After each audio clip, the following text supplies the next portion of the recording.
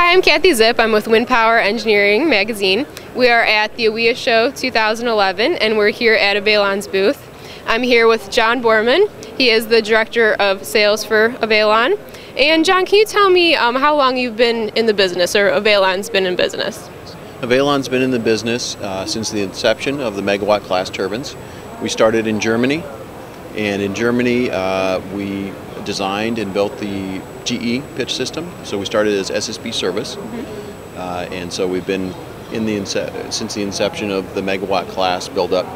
Uh, in two, in the mid 2000s, we separated to SSB service, which is now Availon, and uh, have been a independent service provider uh, focused on on end users. We're now in the U.S. market and uh, selling parts, upgrades, high-tech solutions, inspections, as well as full O&M service. Can you give us a little more detail about um, what services you do offer? Yes. So like I, uh, like I stated, the, on the parts side, we'll sell parts on GE, uh, Siemens, Vestas, Gamesa, and we're adding more turbine types uh, every day. Uh, on the high-tech services, so end of inspections, high-tech upgrades. Mm-hmm. They want uh, customers looking to install auto lubrication systems, condition-based monitoring, things like that. Uh, the O&M side, which we've just started making a, a big push in the North American market on, uh, we'll do full O&M, including BOP services uh, for uh, for the customer. What would you say uh, differentiates uh, you in the industry? Thank you. we take a very high-tech approach, customer-focused approach. Mm-hmm we have engineers on staff. We've got engineering competency centers for each turbine type that we uh, undertake from, uh, from a service standpoint.